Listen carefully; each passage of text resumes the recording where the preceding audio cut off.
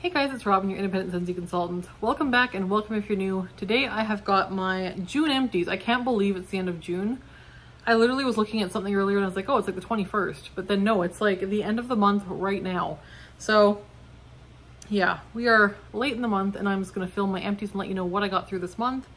I have got a stack of wax. I've also got some laundry, some body care, some car stuff, all kinds of things here. So I'll just kind of jump in. Um, let's do the car stuff first. I did a scent circle in Star Apple and Freesia. It's right here. I really love this one. This one was like a gentle, fresh scent, very fruity, a little bit of floral. It was really pretty. This was a top-notch scent for the car. It was about an average performer, maybe like a week. I would absolutely purchase this one again though, and I love this in wax as well. So Star Apple and Freesia, I will repurchase in the scent circle and in the wax, and it was about an average performer. Love that one. Tropic Nectar. This one did okay. This was really, really pretty. It only lasted maybe like a week, week and a half. So again, about average in performance, and it was really, really nice. It was a nice creamy tropical fruit scent. I love this again in the wax as well. And this one did smell quite true to the wax, same as Star Apple and Freesia did. These two scents both were pretty true to scent. Ben's tail in the frame there next to Piper waving in front of her. There, he's gonna harass Piper. Hey, Ben. Leave it. Good boy. So that one was really good. And again, I would repurchase this one in the wax and in the scent circle. Ben, leave it. Good boy. Blue agave and melon. This one, I love in the wax. This one was not true to wax in the scent circle. And sometimes that just happens. This one, at first in the car, when I had this going, I would get in the car and be like, ooh, did Trent forget to take back the recycling? Because sometimes his class takes back the recycling and he uses that money for his class for like field trips and stuff for kids who can't pay for it. So I thought maybe it was like fermenting bottles and cans in the back of my car. That's what this one smelled like. So I really thought it was like old recycling. There was no recycling in the car. It was it was this and it persisted for several days that way. Um, after a few days, it did kind of get more like actual blue agave and melon. But by then it was pretty much so light you couldn't really smell it anyways. So this was like a week or less and kind of made my car smell like fermenting recycling juice boxes. So that was a pass. Won't buy that again in scent circles, but I will repurchase it in wax. Black Raspberry Vanilla Scent Pack. I did this not in the car. I did this in my front closet in the hallway where we keep our coats and our shoes and stuff. Just threw this in here to freshen it up and it's really nice. It's about a month in. I put this in at the beginning of June. It's almost a month in and you can still smell it when you open that closet. It's very pleasant. Kind of a nice berry scent, little bit of a perfuminess to it. It's really, really nice. I wouldn't say it's like hitting me in the face or anything when I open the door, but it is smellable when you open that closet door. Mango Matcha. This one was, again, really nice, but again, not all that smellable for very long. This was, again, maybe like a four or five day, like maybe four day one. Not overly long lasting, but again, it has been hot, and that does seem to use these up a little bit quicker. Um, but this one, again, I would repurchase in wax. I might even repurchase it in the scent circle but I would hope maybe for better performance next time. But this one was true to the wax in scent circle form. Next, I finished up some body care stuff. I finished up a scrub from Bath & Body Works in the Fairy Tale scent. Do we have a scent description on here? Yes, we do. Pomegranate nectar, fresh orange blossom, and vanilla bean. This one was really pretty. This one smelled kind of like if you took Scentsy's White Amber and Silk scent. It's kind of a nice soapy, clean, like pretty scent. And then you added some like fruit to it, like that orange. I wouldn't have guessed it was orange, but some fruit and some vanilla. Is there vanilla? Yeah, vanilla bean. I thought I could smell vanilla in here. This was really lovely. I love the formulation of the scrub as well. It's nice and scrubby. It rinses clean. It foams up. I do love their scrub. And the scent on this was really nice. I would buy this scent again too. I'd purchase this product again entirely. I really liked that. Then we finished up a Lush Shower Gel in the mini size in Mango. This one is Light Up the Night with this Marvelous Mango Body Cleanser. Now, I had done a bottle of this last month as well. This is my second bottle of this in a couple months. Um, the last bottle I had of this was better. This one smells different, and I don't know why. Sometimes with Lush, because they are using so many fresh products, something as simple as a different batch of mangoes or a different batch of fruits that they use to make the product will actually make a difference in the scent. And I think that maybe what happened here. I think it's just a batch variation. It's not bad, it's just different. So this has like cardamom, it has glycerin, coconut milk, fresh mango juice, vanilla absolute, uh, black currant absolute, sweet orange oil, uh, marigold oil. So th those are all the scent components in here. And all of those could have batch variations. Something in here just wasn't quite, it was like pungent. I don't know how to describe it. The other one was much more fresh and juicy and crisp. This one was more pungent. Um, I just didn't prefer it. It was okay. I I would hope if I got more, I would get the other version of it. Um, but yeah, that's it was okay. I might give it another chance next summer, but I think I'm done with the scent for now. Um, next thing I got through was a face cream. This is the Fresh brand Lotus Youth Preserve Dream Face Cream. Uh, Super Lotus Night Recovery from Fresh. And this one I've been working on for a while.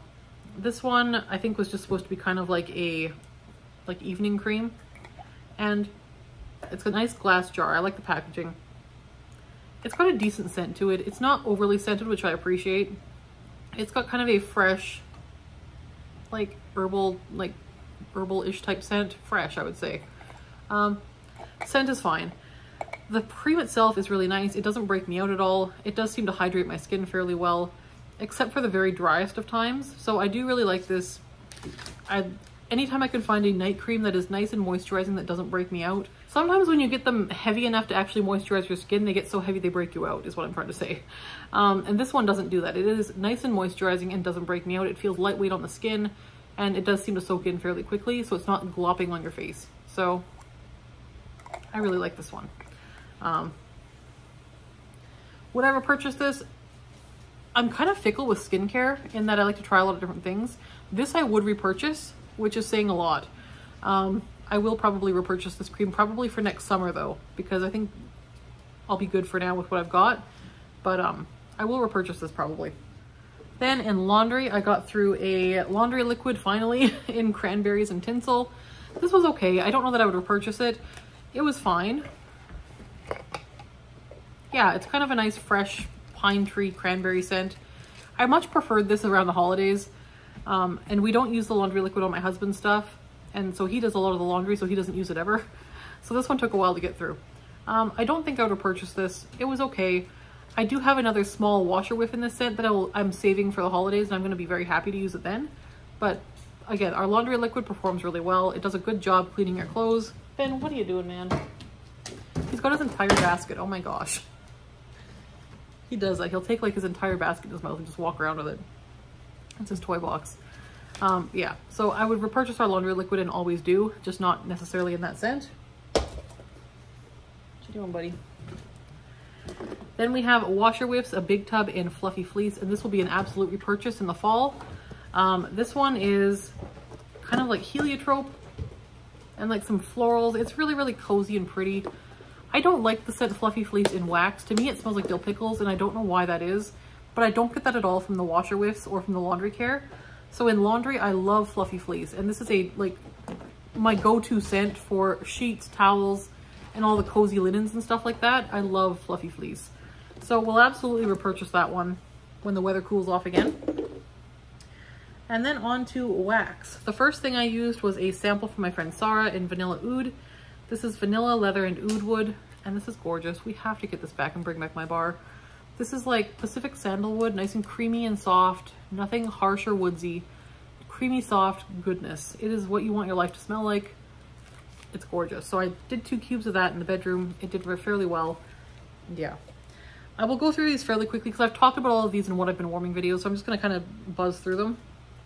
Uh, Juicy Apple Raspberry. This one did well. I would repurchase it if I could. Pink Haze is in my club. This one is always a good performer as well. Like that one. Caramel buttercream, nice one. I don't think I have more of this. If I do, maybe just one bar. It's a nice caramely buttercream scent. I don't know that I would purchase it though. Stitch 626, this one is back in my club now. This one is like just deliciousness. This is like orange, fresh goodness. Very good performer. Aussie Plum, nice medium performer, average.